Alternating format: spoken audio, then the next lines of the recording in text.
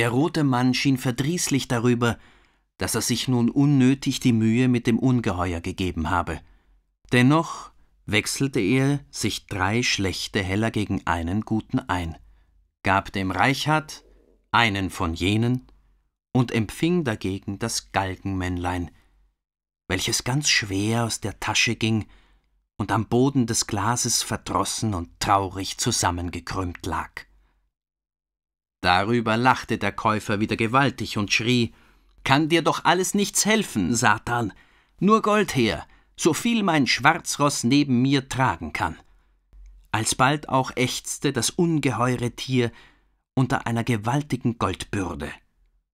Doch nahm es noch seinen Herrn auf und schritt alsdann, einer Fliege ähnlich, welche die Wand hinaufgeht, an dem senkrechten Felsen gerade empor, aber doch mit so abscheulichen Bewegungen und Verrenkungen, dass Reichard nur schnell in die Höhle zurückfloh, um nichts mehr davon zu sehen.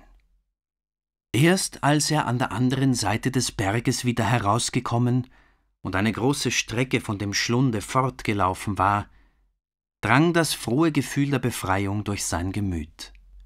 Er fühlte es in seinem Herzen, dass er die früheren großen Fehler abgebüßt habe und ihm fortan kein Galgenmännlein mehr angehören könne.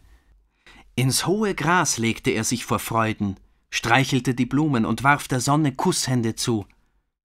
Sein ganzes heitres Herz von sonst her war wieder in ihm lebendig, nicht aber zugleich der ehemalige freche Leichtsinn und Frevelmut.